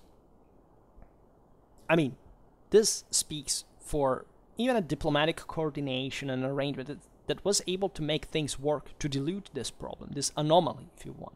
So again, even in the 40s, there is not much of what you would see as, uh, you know, the, the, the area was ravaged without control. They didn't know what to do with this.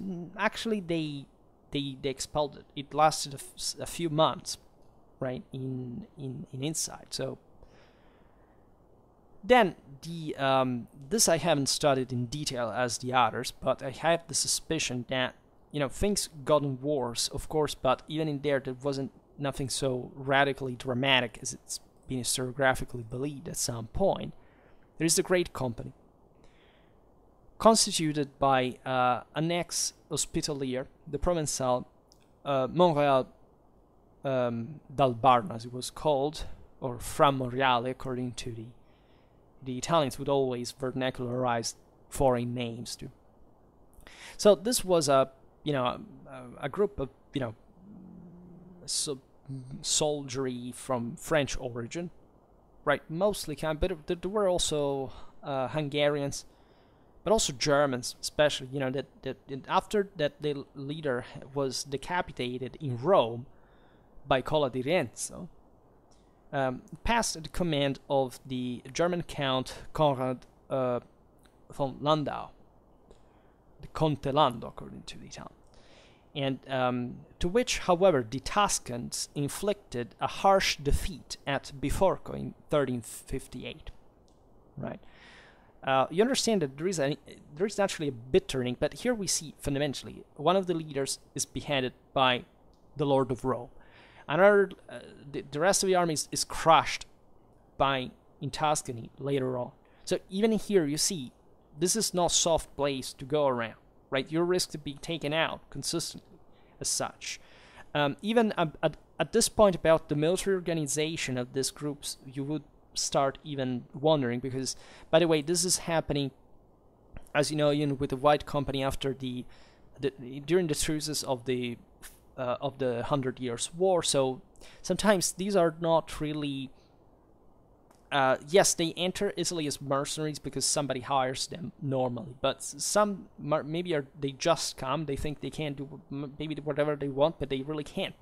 Like the, in this aspect, is very is very even because you have to evaluate the properly the level of, of coordination and organization um, properly in military quality right? You have to have a cohesion in here, and it's difficult to maintain one. What what what, what you realize, especially before the four, you know, before the fifties, is that uh, these companies do not really have a fixed um, organic. Like they they're just a group group of desperate people uh, that have a short-term objective of looting and then going away. So this doesn't speak even for a big deal of military solidity, cohesion after all. Yes, they, most of their members are soldiers, but again, who is that controls them? What's the discipline within it? We we are also not really documented about it more than much, right? And um, so what happens later on, which is exemplified instead by the, properly by the white company, is is something different. Is properly the formation of something more cohesive that could exist within the system. So that's where it gets, in my opinion, most interesting. And this is not a coincidence that the English carried this out, because the English had, as you know, during the Hundred Years' War, basically the most successful military system, possibly in, in history, tactically wise, meaning that if you really look at the numbers and how you know the, outcome of battles repeatedly that there is hardly any army in history that scored the same success as the english one during the hundred years war. This is no joke this is no personal opinion this is pure mathematics um, so it's not debatable. This doesn't mean that it was the greatest army in history it doesn't mean anything right? Because we know clausewitzionly speaking it changes. But it's still meaningful because of, of all these various french germans etc at the end of the day the actually the guys that are not very present in great number, hadn't been present in great numbers in Italy, but that turn out to be the most successful under John Hawkwood, in fact, are, are the English. And this is no coincidence. In fact, these would be the guys that maintained a permanent military organization, compact one that, that, that they've tried and they, properly they acted intelligently to pose themselves systematically at the service um, of some Italian state. So, John Hawkwood, as you know, the Italians call him Giovanni Acuto, just by consonant.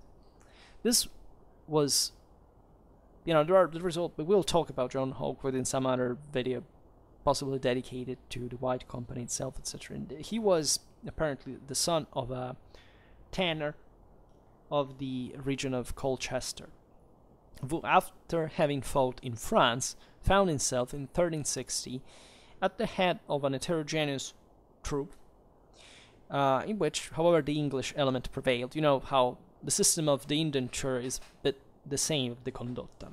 All right, uh, the uh, the English armies were raised like that. They they were mostly men at arms, then with with um, with, with a leader, with a contractor, who, uh, and lots of a longbowmen, um,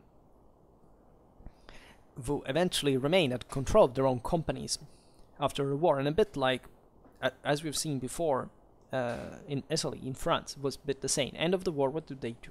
Hmm? So, uh, for some time, Hawkwood had been part of the great company of the Marquis of Montferrat, right? Uh, so here you see properly an Italian actually that had been at the service of the Count of Savoy against the Visconti of Milan. Perhaps he fought in the Battle of Brignais on April the 6th, 1362.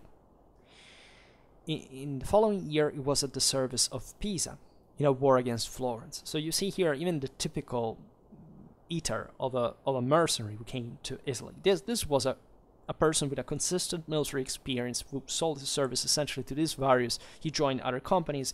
He he was at the service of, of cities, right? So again, this was like a career, a profession, a business. It wasn't like you know they, he and he learned naturally what the situation was like politically, militarily in the peninsula and so on. Eventually, he is to be found in, in, at the service of the Visconti too. Mobility was really a lot here, right? Um, it was normal to have fought for someone and against some. The same Florentines, right, that made his beautiful portrait in, in the cathedral, had actually been defeated by him. So that tells you also what how complex relations really were and alternating, and you understand that this depended on the same Italian powers. So for nine years, Hawkwood was at the head of the White Company, and he was the most feared condottiero in Italy. He fought against Florence, as we were saying before, against the Pope, against the Emperor Charles IV.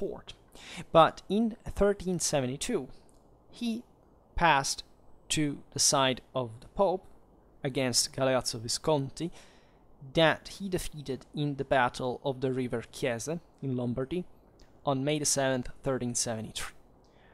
Eventually, he reconciled with Milan and the papacy, uh, and he um, turned to Florence, um, of the uh, of, of which he actually threatened and uh, scourged the the territories. So, in vain, Caterina from Siena invited Hawkwood to leave Italy and to go to a crusade against the Turk.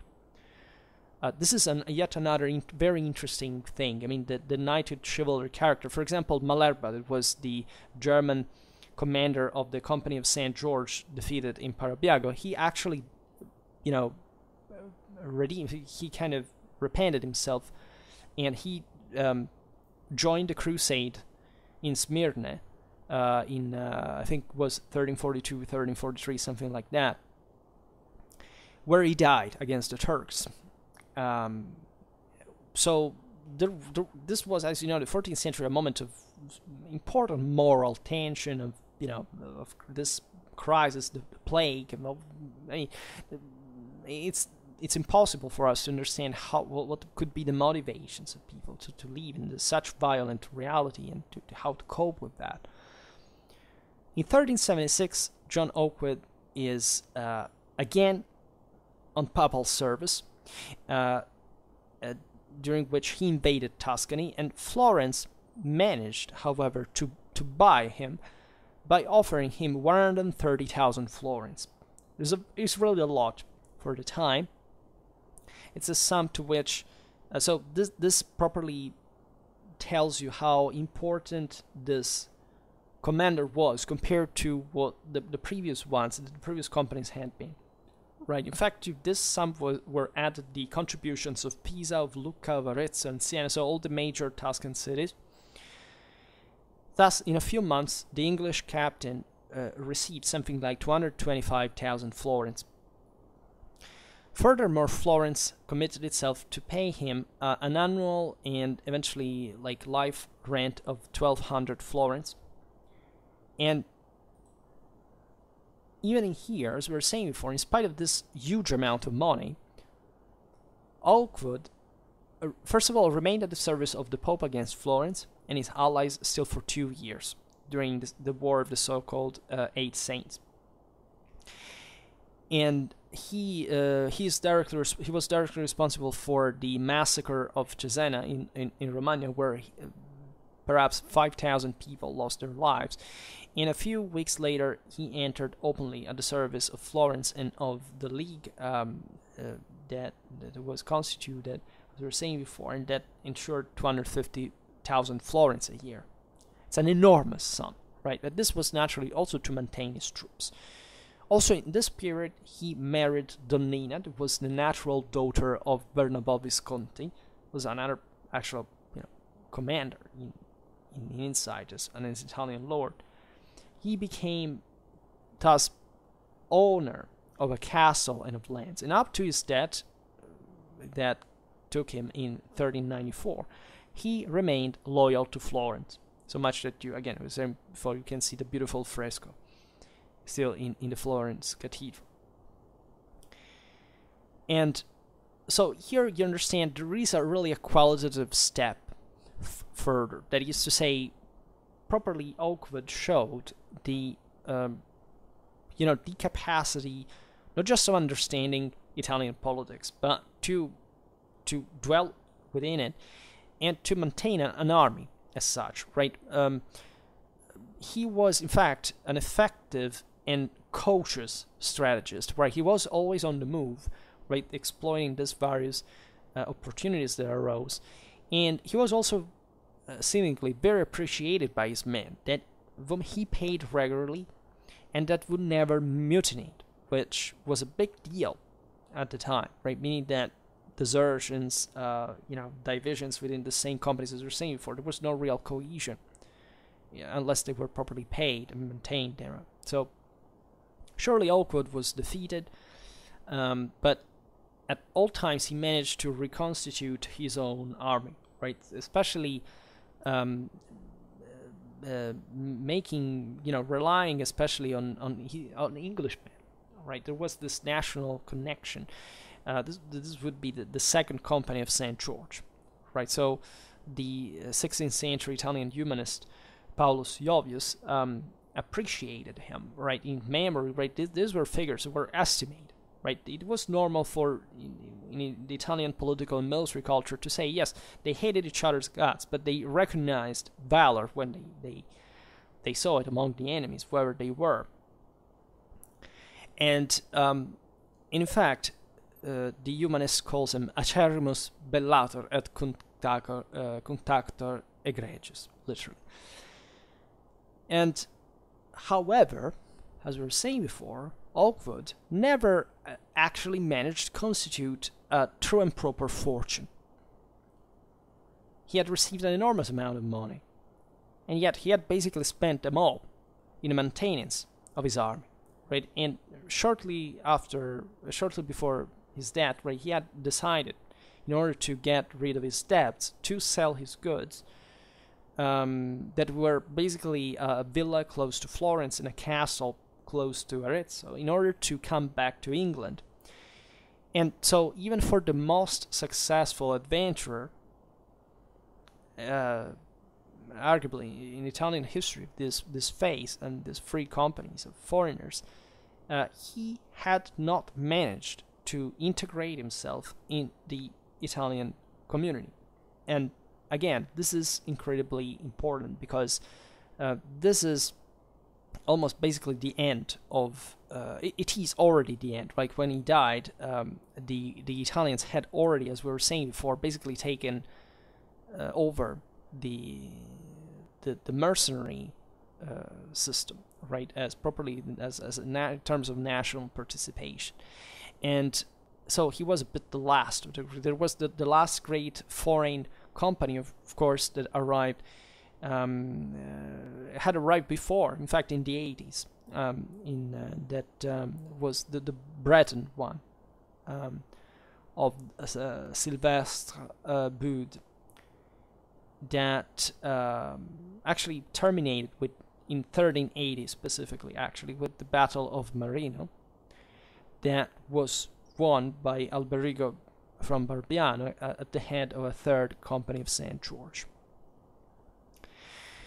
And so, what does this mean concretely? Well, it, it means objectively that these armies, right, we have seen this terrible you know moment of the free companies but was it so terrible like compared to the previous generations or the ones who would come like was like italy particularly affected by by the phenomenon in terms of what was the regular violence that existed in the peninsula. This is in my opinion, yet to be demonstrated. Like, um, in that, especially the um, presence of these companies, it seems to me unequivocally the product of an Italian politics, not of Italian politics, of, of an Italian policy, let's say better, meaning properly of using these armies, paying them to simply throw them against one another.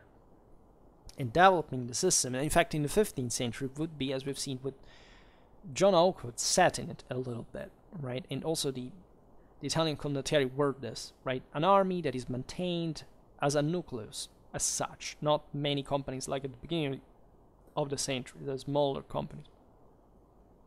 And then the condottieri could, could have a career, could, could marry into the local seigneuries, they could have some land, right? Before Hawkwood, financially none of this had happened. And this is mostly typical of the 15th century.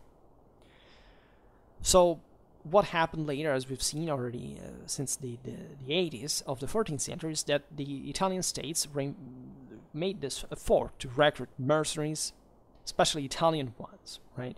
Uh, but to keep this the, the, the tie with the military leaders hired more more more stable, more more under control, right? So that's properly the moment that historiographically has been defined narrowly, beginning as the, the condottieri one, because from there on, it was mostly, as we've seen, mostly an Italian thing, an internal thing, and a more, much more mediated and organized thing than before. And what I, what is fascinating in this whole picture is that in, these decades, Italy had passed fundamentally from a set of roughly 30 um, virtually independent, properly internationally speaking, uh, city states, to essentially a, a much, um, you know, uh, to, to this the, the period of regional states that were essentially these major cities, Milan, Florence, and uh, Venice, that, that where the major powers had gradually incorporated, were gradually incorporating the you know, other cities that now were subject to their own control. So this goes in parallel properly with the mediation, the rationalization, uh, the normalization of the maintenance of a of a kind of permanent army, as you understand, for some periods of time, right? With this very specific Italian bias that, yes, it is true, wasn't aiming at creating any uh, political or social class of, of, of, of, permanent military men within the state for many reasons, right? Italy, first of all, was divided. They had a consistent infant, uh, um, amount of population, but this was not enough, considering also the fact that they were quite productively employed in lots of properly, you know, economical in the economical system. So they, they, this, all this working force was not good for. Why they, would they have armed it? right? In Italy, like in Flanders, like in France with the Jacquerie, during the centuries there had been uh, revolts of the proletarians, of the textile laborers, because they were exploited, oppressed, and naturally they were put down without any mercy, because they were uh, in those times from the losing side of history. Um, and um, so thinking about arming them, right, it would have been crazy. But properly the peninsula was was based on a city system. So in, in, even if though these cities could expand on other cities they wouldn't actually have like a territorial national character. Like italians actually understood they were italians. This is quite interesting because they, they were divided they would remain as you know for a long time but you know when they were in italy they were the florentines the milanese the venetians whatever when they were abroad they felt Italian. So there was an idea that they belonged objectively just by political or mm, cultural, socio-economical standards. A, a, a, unique exception here. Again, this is the cradle of humanism. It has a, a very there is a very early state, um, uh, you know, building of, of you know, political theory in a statally oriented sense, etc. But yes, they are still divided um, and therefore they cannot quite put too much mm, mass, too many masses of men drawn from the single city states to form what eventually the Swiss would have done in the 15th century, like an entire people in arms, or at least a part of it that was properly paid by the whole system. Here there is none of that, right? So this short-term armies that are, you know, very competent, very professional, etc., but still employed for this kind of, you know, equilibrium, maintain this kind of equilibrium between these major powers, never managed to take take each other out on the long run, up to throughout all this time, the, the 15th century, uh, is essentially the uh, what Italian states would remain un- until the Italian wars, right? When they the, the weakness of this system would be highlighted, right? Would, but also because of a political crisis, not because of they lacked factually military force to oppose to foreign powers. It's just that they were chronically divided and incapable at that point of saying, okay, let's co- like let's make a broader alliance that is not just fictionally designed to maintain peace while you know trying to exploit any other situation even by calling foreign powers in let's create something that there was no uh, base for that right historically this was not a country like you say france was a kingdom it had its boundaries was built over time but it, it was that it was a major landmass um, with with a with a single government. This wasn't anything like that. They were very rich individually, but they wouldn't have the same expendability of that wealth in political and uh, in political terms. They didn't want to arm masses. They didn't need that, right? They mostly wanted to accumulate wealth. Um, and mm, war costed indeed a lot, too much. There was no evident moment of pressure, threat, right? Especially at this point during the 14th century crisis, where most European countries' capabilities actually contracted on a on a local base. So there was no major threat like I don't know at the time of Barbarossa, where the Germans came wanted to literally sub- subjugate everybody.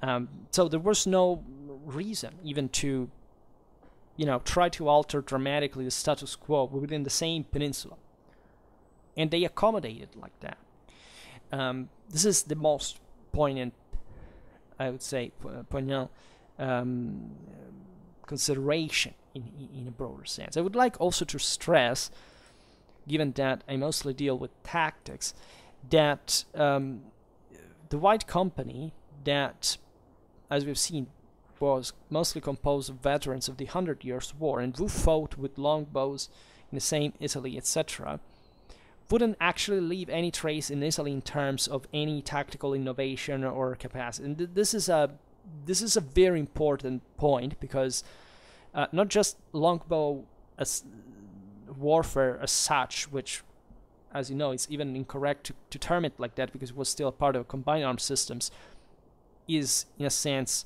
overrated. But properly, you can see it when it, it was transferred in another system. It was actually military advance, and that wouldn't feel the need to to to put this into practice in its own realm. Right? The Italians actually produced some of the finest bows at the time. Uh, some of the, the, best ones were the ones in Lombardy because of different time of um, you know the the the um, temperature excursions in the region was you know tempered the, the, the wood in, in a very particular way they produced longbows. They produced longbows. They exported to England in, in Tuscany, in Lombardy, in fact, as we were saying. But they wouldn't use them in Italy. And this is the beauty, the Clausewitzian uh, idea. They wouldn't need that. They, their system worked well the way it did, right? And there is no way to compare the military systems because, you know, not only Italy didn't fight the Hundred Years' War, but also there was no no context there to, to compare the two systems. This is very, very important also in historiographical perspective because it shows you sometimes how we, we, we as we were saying at the very beginning of the video, how we kind of give for granted things that shouldn't. Such as the fact that uh, a technology uh, makes tactics while it's notoriously the other way around uh, in the history of science or technology. And the uh, in, in military history proper. Um, but it's meaningful because um, the different, of course, military systems are not really detached here at the point of, you know, these were different countries that wouldn't know how they fought. more or less Europeans all knew how they fought, right? And there are some cultural. I mean, everything can be subjective in from the sources, right? You know, there are some. For example, Italian chroniclers are very interested in uh, some battles of the Hundred Years' War. As you know, Crécy was documented by Villani, by one of the most important chroniclers in medieval Europe. There was um, a, a, a, very interested attention towards even, for example, the revolt of the Flemish at the beginning of, this, of the 14th century against the king. But there is no no um, sensationalization or teleological or progressistic approach to these things. Basically, they, they saw it as a sort of an accident because if you really look at what it was militarily wise, such as in, in Flanders, where yes, they, they scored Courtrai and then they, they managed to do something in Mont-Monpellier that was a stall fundamentally, but after that, the Flemish armies fundamentally wouldn't accomplish anything else.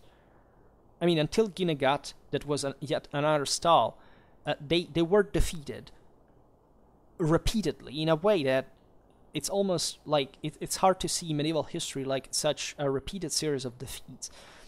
By the way, at the same hands of the, the, the French military culture that had been had suffered so much at Courtrai, that you start wondering, but you know, yes, did we get medieval warfare right? That is to say, the way we decided to look at history and for which reasons and which to highlight certain military realities rather than other is it really mo- you know justified? Like is there like you can motivate it yes but is it good? Like heuristically speaking um, is there really any point to it?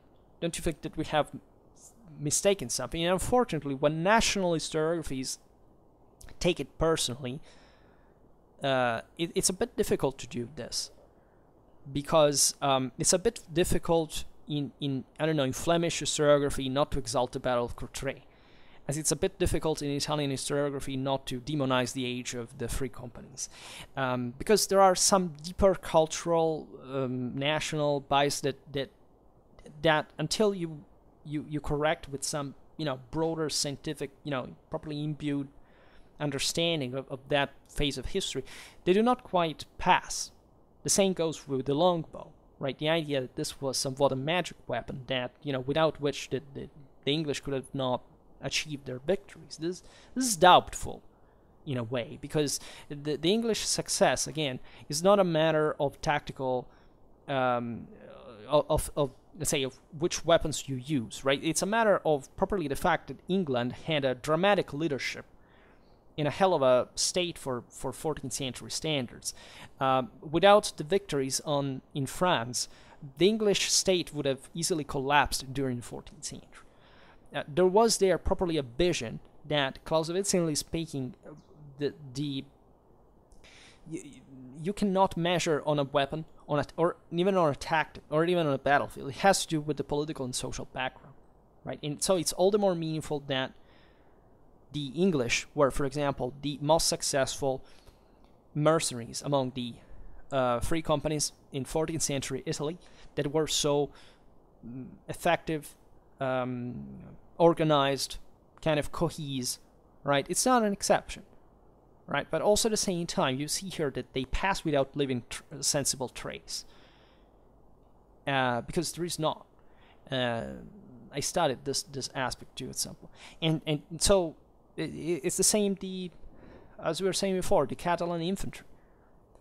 Basically, the Italians dismiss it from literally, I think, literally one year to another. Because they don't want to use them anymore. They just want the French and the, and the German knights. And weren't the, the Almogavares the ones that, that defeated French cavalry at, at Kephissus in Greece? One of the, the, the most, you know, I wouldn't say spectacular for talking about anything but like that to, to emphasize the, the exceptionality of that victory. It was remarkable, truly remarkable, especially considering that we're largely light infantry in a sense. Uh, terrain did help, but if you don't hold, uh, you can't do well.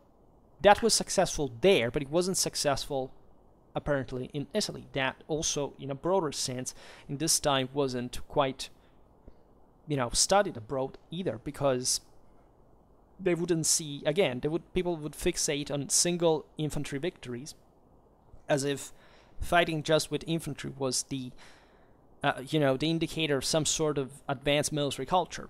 It wasn't at all, right? And it, it, it's not important that infantry was the future because in 200 years it would have become that under completely different political and social circumstances. Uh, if you study how Flemish armies were organized um, compared to the Italian ones in the early 14th century, but we are light of years separated. But you can see it even from the chronicles right? When you read a Flemish chronicle of, of the early 14th century, or an Italian one of the early 14th century, the, the, the, the first one seems like 100 years before. Uh, it there are certain stages of development that are um, are have been completely ignored in in European culture for reasons that it's not the point now to discuss. But you know that that, that you understand how easy they are to misconceive in a way. And this has nothing to do, however, with um, with importance of this phenomenon. I, I, I, will not never doubt that. You know, the, the Battle of Courtrai. It doesn't matter how important other battles or other armies of the time were. It, it, it's definitely the single. It's truly the single most impacting battle, probably mm, surely not of the Middle Ages, but I mean, you know, in the realm of those years, like mostly in the 14th, for, for the series of battles that were scored, it was the first one, actually. It's a, the, the, the path opener in general. For the next 50 years, that was literally mind blowing. A world upside down. In fact, you know, if you read the various sources and say, this is a miracle, how, how the hell did they do? Because nobody gave the Flemish a damn. They called them butter rabbits and they wonder how they could slaughter the flower of the most powerful cavalry in Europe. And and, and, and, and you can't reconcile with that. So, but but it's important to you see if you love the Flemish military and Flemish history, etc. At that point, you cannot separate this magnitudinal um, event from in, in terms of moral impact from the fact that the Flemish, in that sense, didn't have any magic or special capacity from a military point of view. They were just very much determined and motivated because they had moral forces from their side. They wouldn't win their battle because they had good and. They, they wouldn't even call like that, where they, they, pin the staff at most, um, or anything else. It's because they stood their ground to win or die, which is the only thing that consistently makes a difference. Uh, in relative terms in, in such situations. Right, but this has nothing to do with the fact that, of course, the French military system was a dramatically more advanced one and kept scoring victories for hundreds of years, while the Flemish wouldn't wouldn't do it any of that. And it's and so th- this is even more remarkable, and it should make you understand even more seriously how important it is to to study history in a proper sense, because it's too f- mm, facile, too easy, too to to buy, let's say, the, the myth that of course, okay, you know, it's it's a the dichotomy. If I win, I'm just, you know, it, it, it's you have to be the best. It's as if I'm saying that you know, since the Taliban won in Afghanistan, but no, I don't want to compare absolutely. There's no comparison in sense, but you understand what I mean. Or the, the the Viet Cong in Vietnam, therefore, you know, that's better, that's stronger, that's cooler than. In this case, the United States, it has literally nothing, but not even possibly or remotely anything to do with that. But many people use that to, of course, in ideological ways, and that, that's what we have to cope with today. That the fact that we have built our historiography on an ideological base, even when we actually knew the facts, which naturally is even worse, but it's even easier to, to fix because you know it, it's better to know how things went. Like at that point, you can really more more, you can feel more empowered about your past because you factually don't have to tell, you know, fairy tales really, but to objectivize the quality of them. And naturally, if people don't study the art of war, can't even distinguish it from military history as such, and and they don't have any specific strategic culture, and they don't, they don't study campaigns or battles for a lifetime, or have a diachronic and comparative military historical education. This is not possible. But together with this, also being a, a, a functional country to have a civic, uh, civic education, democratic culture, and a, a strategic capacity is not possible because you cannot go out there in the world owning political, hence also military power, in pretending that you can use it if you don't even study military history, or if you neglect von Clausewitz, you think you can equate it to Sun Tzu or, or other, you know, amenities of this kind. Unfortunately, we live in a world like this, and we pay for it, and we'll keep paying for it, right? Anyhow, um, for now, we stop it here. I just hope that you enjoyed this video. If you did, please share it. Otherwise, leave a like or subscribe to my channel if you're interested in my upcoming content. And for now, I thank you heartily for listening to me. I wish you a nice time and see you next time. Bye.